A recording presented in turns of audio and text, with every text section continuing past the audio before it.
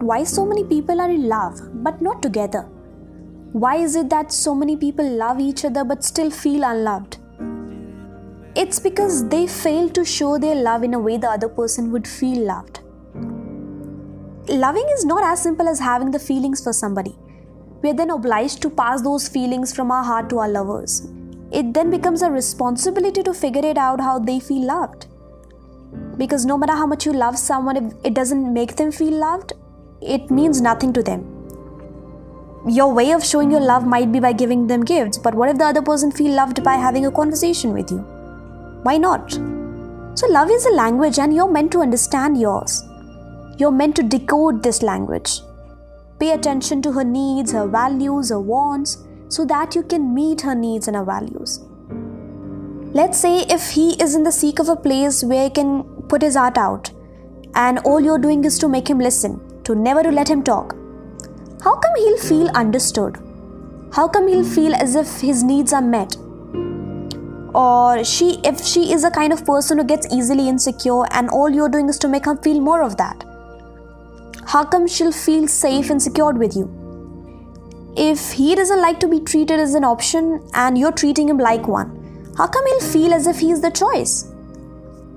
So, all these things should never be mistaken as understood without you ever taking actions towards them. Let me elaborate this a little. There are so many children in the world who feel unloved not because no one loves them, because nobody shows them love the, the way they want to. They want someone to hear what they have to say, but what they get is a person who is teaching them how to act. They want someone to sit next to them while they watch their favorite show, but what they get is a person who's happy seeing them busy. You might say, I love my children. Absolutely, you do. There's no doubt about it. But if you're failing to express your love, you're failing to show your love, you're failing to make them feel loved as well. Loving someone has a lot to do with figuring it out how they feel loved. And it is all different for everyone. What might make me feel special and loved are not the same things that will make you feel special and loved. If you love your parents but you don't show your love by sitting next to them, by having a conversation with them, by asking them how their day went, then they soon they won't feel loved. No matter how much you love them internally, how much you value them and see value in your relationships, but if you aren't willing to come out and practice what you feel, there's no way the other person is going to feel what you want them to feel. So many times we love people, but we fail to show our love because we are busy assuming that they might be the mind readers and they can see how much I value them. Even if they are the mind readers, even if they can see how much you value them, it matters to them. Your little gestures matters to them when your sibling is feeling lonely and you understand it, which is something that happens every day. We understand everything. But what if you go and accompany him? What if you just cheer him up? When you get something at the time when we need it the most, what more could we ask for at that time? If I need someone to lean on to and you're doing it for me, what more could I ask for?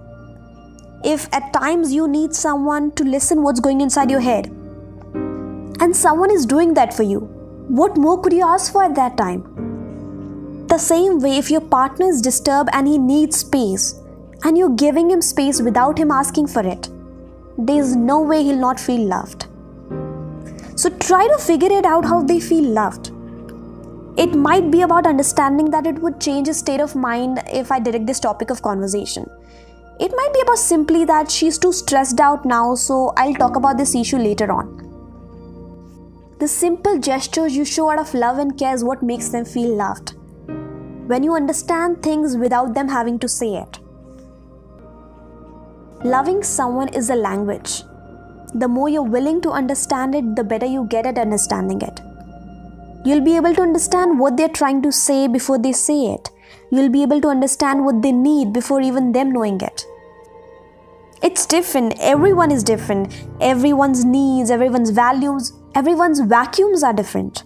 So don't try to reach out and expect someone to sort it out for you. To make you understand everything about your partner, about your parents, about your kids. It's something only you can do for yourself. It's something only you have to do it on your own. There are times when we love someone but we are unable to make them feel so. because we are more focused on ourselves. We are focused on what we feel about them, how we how we want to express our love for them, which is fine.